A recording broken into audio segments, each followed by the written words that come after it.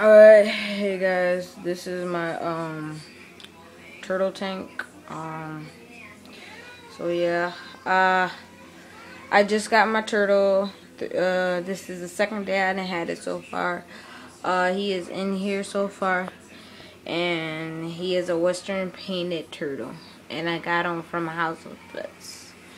And he is right here. There he is right there. And I named him Mamba. Big Mamba. Mamba. Alright. And so this is my UVB. You see in the reflection. UVB light. And then here's my heat lamp. So there that is. And that's extremely hot. It's over my basking area. It's kind of wet because it slopes down in the water so he can crawl in and crawl out. And here he is right now moving. And so here's his uh filter. That's his filter. Uh, I try making one side like kind of like open for him to swim in over there, and then a little cave up in there for him. So yeah, uh, and uh, a little spot for him to get some air.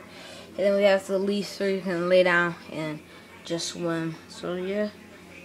But that's my turtle tank, and I'm just going to leave it out because it's really hot. And, yeah. Alright, see you guys.